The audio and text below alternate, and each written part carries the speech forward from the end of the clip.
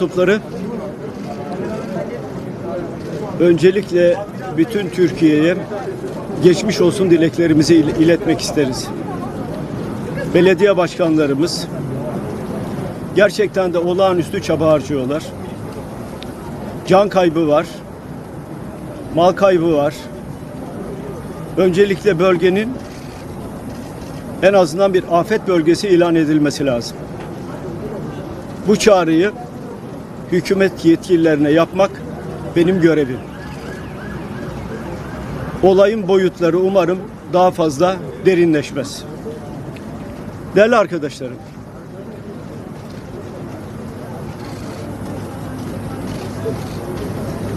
her yıl mutlaka orman yangınları çıkar. Her yıl mutlaka bir şekliyle bir bölgede sel olur. Şöyle veya böyle belli aralıklarla da olsa depremi de yaşarız. Ama sanki bunları ilk kez yaşıyormuşuz gibi sıfırdan önlem almaya çalışırız. Çalışırız. İktidarın yani Türkiye'yi yöneten iktidarın en büyük zaafı da bu. Bir planlama, bir öngörü söz konusu değil. Bakın değerli arkadaşlar. Dün Türk Hava Kurumu ile görüşmek istedim. Türk Hava Kurumu Cumhuriyetle yaşıt olan bir kurum. Size bazı rakamlar vereceğim ve emin olun vereceğim rakamları devleti yönetenler bilmiyorlar. Bilmedikleri içindir ki zaten önlem almayı bilmiyorlar. Olay oluyor, yangın oluyor, can kaybı oluyor, mal, mal kaybı oluyor, konvoylar halinde bakanlar geliyor. Peki kardeşim niye önlemi zamanında almıyorsunuz siz? Her yaz yangın oluyor mu? Her yaz ya- yangın oluyor. Sadece bizim ülkemizde mi? Hayır pek çok ülkede oluyor. Bakın Türk Hava Kurumu 2002'de 19 uçağı vardı. Yangınları söndürmek üzere. 19 uçağı. 19 pilotu vardı. Bu uçaklardan dördü İstanbul'da, dördü İzmir'de, dördü Çanakkale'de, dördü E- Edremit'te bekliyor. Sürekli yaz aylarında. Üç uçakta havada sürekli seyir sefer halinde. Yangın çıkarsa hemen müdahale etmek için. Peki şimdi sormamız gerekiyor. 2002'de 19 pilot 19 tane de yangın söndürme uçağımız varken neden şimdi yok? Nereye gitti bu uçaklar? Bana şu örneği Allah aşkına bir Allah'ın kulu çıkıp anlasın. Ya yangını söndürmek için ihaleye çıkılır mı ya? Yangın var, efendim ihaleye çıktık. Bakan şunu söylüyor, yangın söndürme uçağı envanterimizde yok diyor. Bu sorumsuzluğa bakar mısınız siz Allah aşkına ya? Her yıl yangın olur, orman yangını olur. Ama beylerin envanterinde yangın söndürme uçağı yok. Peki kardeşim, ya 19 yıldır iktidardasın. Her yıl bir tane, her yıl bir tane yangın söndürme uçağı alınsa bugün 19 tane yangın söndürme uçağımız olacaktı. Şimdi ben bunları söyledim diye kızıyorlar. Ama ben bunları söylemek zorundayım. Ben devleti tanımıyorum ama devleti yönetenler devleti tanımıyorlar. Devleti biliyorum. Türk Hava Kurumu var mı? Var. Bakın bir rakam daha vereyim size değerli arkadaşlar. 2002'de 176 bölgede yangın çıktı. Orman yangını. 2002'de 176 bölgede orman yangını çıktı. Türk Hava Kurumu derhal müdahale etti. 176 yerde orman yangının çıktığının kimse e, çıktığından kimsenin haberi bile olmadı. Çünkü devlet görevini yapıyordu.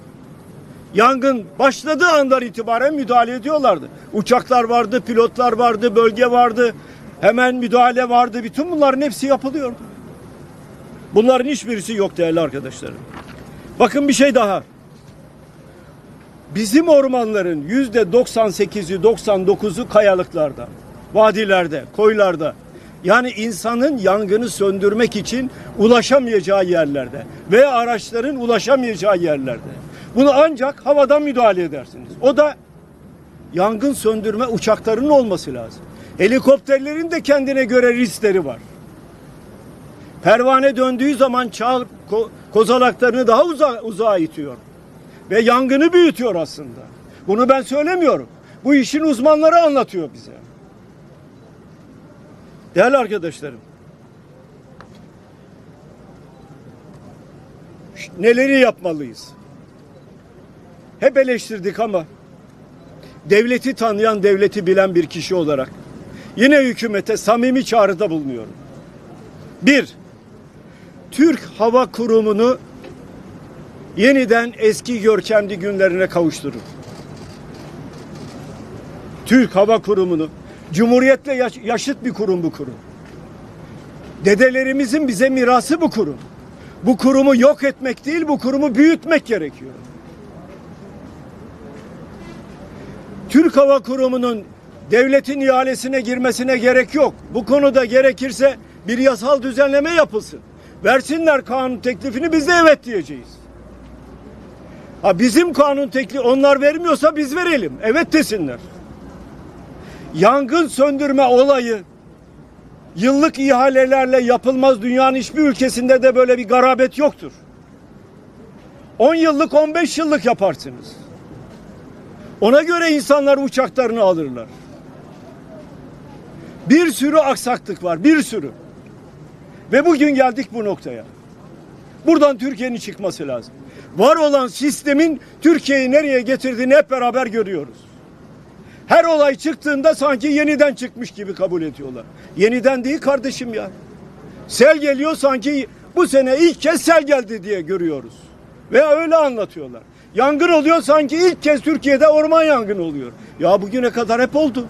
Az önce söyledim. 176 yerde orman yangını oldu 2002'de. Ama çözüldü. Günlerdir çözülmüyor. Nerede uçaklar? Değerli arkadaşlarım, insansız hava araçlar, İHA'lar. Bunların da süratle devreye konulması lazım. Bir yerde yangın varsa tespit ederler. Süratle duyururlar. Belli bölgelerde belli uçakların hazır olması lazım. Yaz aylarında bu böyledir. Bu gerçeği görmesi lazım.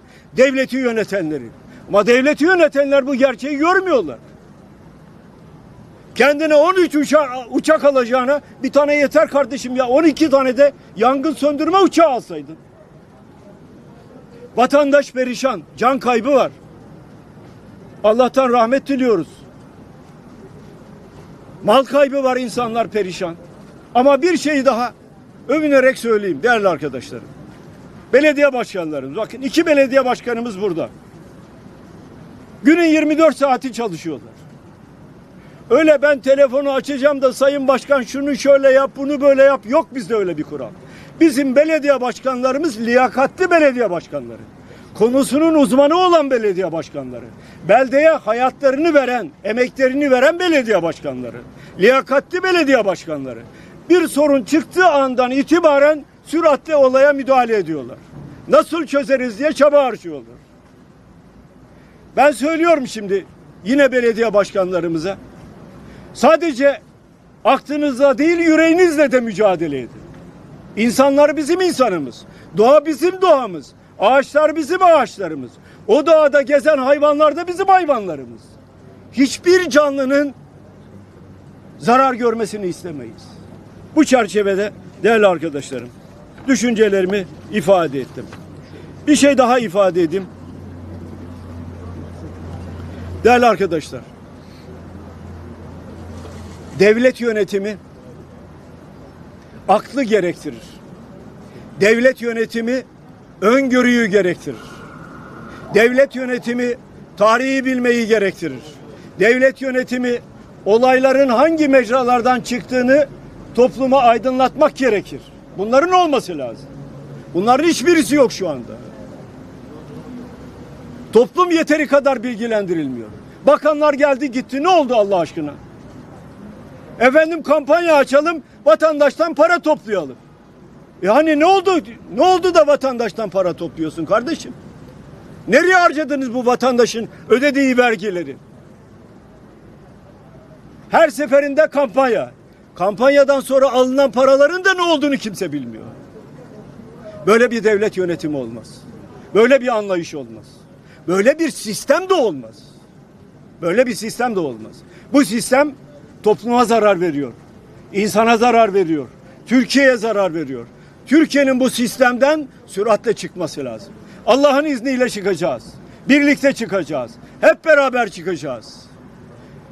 Allah'ın izniyle bu ülkeye huzuru da, bu ülkeye barışı da, bu ülkede bir devlet nasıl yönetilir örneğini de getireceğiz. Hiçbir kişisel beklenti içinde olmaksızın. Tek beklentimiz var. Bu ülkede herkes huzur içinde yaşasın. Herkes. Olabilir. Felaketler gelebilir. Felaketler ama önceden önlemini alacaksın.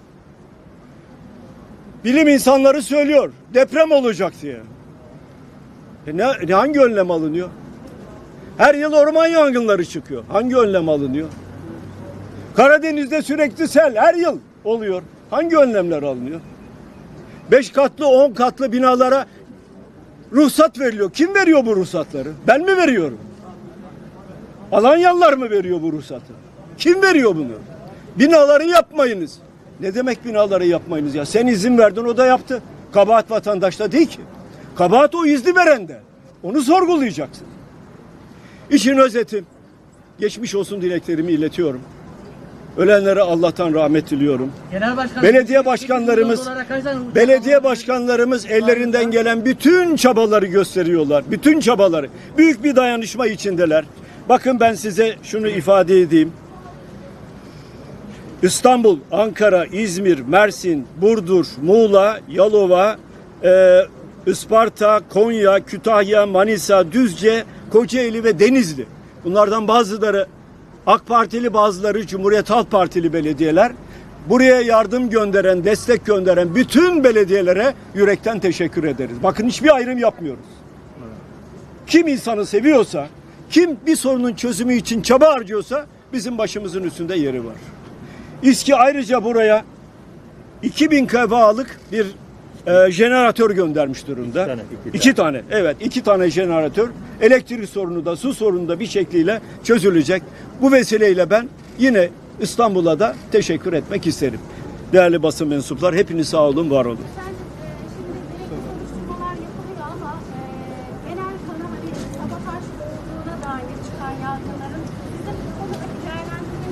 e? Yüzde yüz bilgi yok ama Şimdi bakın bu konuda adliye merciler. İçişleri Bakanı açıklama yaptı. AK Parti'nin Sayın Genel Başkanı açıklama yaptı. Elde hiçbir somut veri yok. Dolayısıyla eğer sabotajsa olay çok daha vahim. O zaman siz Türkiye hiç yönetemiyorsunuz. Adamlar gelecek, Türkiye'nin her tarafında yangın çıkaracak ve siz bir kolaycılığa sapacaksınız. Efendim onlar çıkardı yangını. E peki sen devleti yönetmiyor musun kardeşim? Umarım böyle bir şey yoktur.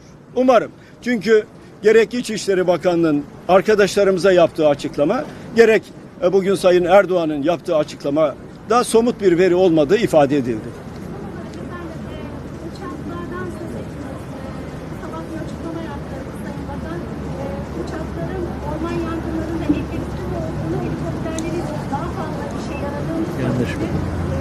size hitaben bu cevabı verdi. Sizin değerlendirmeniz Hangi bakan? Tarım ve Orman Bakanı. Tarımın ne olduğunu biliyor mu? Toprağın ne olduğunu biliyor mu? Yangının ne olduğunu biliyor mu? Yangın söndürme uçakları diye bir kavramın olduğunu biliyor mu? Ve aynı bakan şunu söylüyor. Bizim envanterimizde yangın söndürme uçakları yok. Demek ki böyle bir envanter varmış zamanında. Ama beyefendi geldikten sonra böyle bir envantere, böyle bir uçak alma ihtiyacı hissetmemiş. Dünyadan habersiz. Bakın değerli arkadaşlar. Bakan bakan koltuğuna oturduğu andan itibaren bakanlık görevi yapar. Bakanlık görevini yaparken bir yerden talimat beklerseniz siz bakanlık yapamazsınız. Sürekli aynı yerden talimat gelecek. Talimat da ancak iş yapacak. Az önce ne söyledim? Bizim belediye başkanlarımız olay çıkar çıkmaz derhal müdahale ederler. Efendim dur bakalım Ankara'da genel başkan ne diyor? Genel başkanın görüşünü alalım. Yok öyle bir şey.